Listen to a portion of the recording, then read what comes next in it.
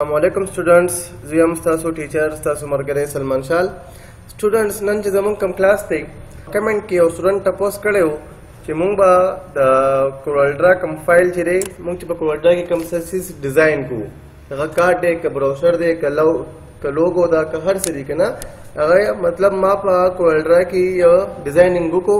اوس زم چې دا ډیزاینینګ چې دی دا ډیزاین زو په جی پی جی فارمیټ کې سیو کول غواړم جی پی جی مطلب کوم چې زمونږ کوم فوټو فارمیټ دی کنه دا زو فوټو فارمیټ ټاړول غواړم دا ما سره په کولډرا فارمیټ کې سیو دی کنه زم چیرې نه په کورولډا کې نه دی پکار دا ما سره پکار دی په پکچر فارمیټ کې نو څنګه چل بکو چې کله ته خپل آبجیکټ پکچر فارمیټ ته اړې ټول مخ کې به آبجیکټ سلیکټ کې آبجیکټ سلیکټ شو دلته کې براشي دی خو زموږ سره دی یو زموږ سره دی امپورټ یو دی ایکسپورټ دی نه کنه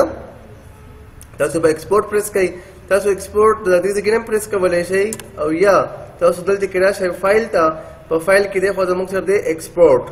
دی نه جي تاسو دا هم کلیک کولی شئ او د دې نه هټ کر تاسو کنټرول پلس ای هم پریس کولی شئ کنټرول ونیسئ ای پریس کړئ زموږ سره به ایکسپورټ راشي ایکسپورټ راغی دلته رااله ما ډیسکټاپ ته دا ما سیو کو په ډیسکټاپ باندې او دې لپاره اگزامپل دې زو نوم ورکوم پروجیکټ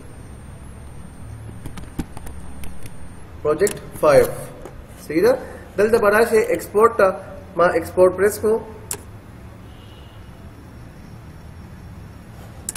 دیکھو اس ما سره د کوالټي دا ته په کوم کوالټي باندې ایکسپورټ کول غواړي ایکسپورټ پیژنې کړه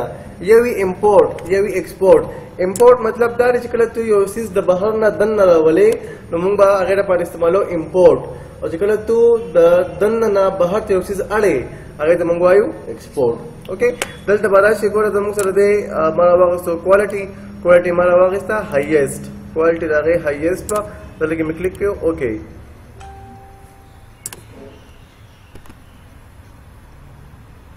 نو ګوره وته دا زمونږ سره زمونږ چې کوم هغه آبجیکټ وو هغه زمونږ سره کنورټ شو پکچر فارمیټ ته ته تاسو بس دلته کې دې باندې ډبل کلیک کړئ دا به زمونږ سره پکچر فارمیټ ته کنورټ شي وي ښا دا وګورئ دې ته مونږ وایو جی پی جی فارمیټ کوم فارمیټ وته وایو جی پی جی فارمیټ وته وایو ښا دا زمونږ د نننې کلاس آی هوپ تاسو به خوښ شئ تاسو ته په کوم ځای کې مسله وي تاسو په کوم ځای کې نه پوهېږئ تاسو خپل کوېسچن په کمنټ کې کولی شئ خوشحال اوسئ اباد اوسئ السلام علیکم ورحمت الله وبرکاتو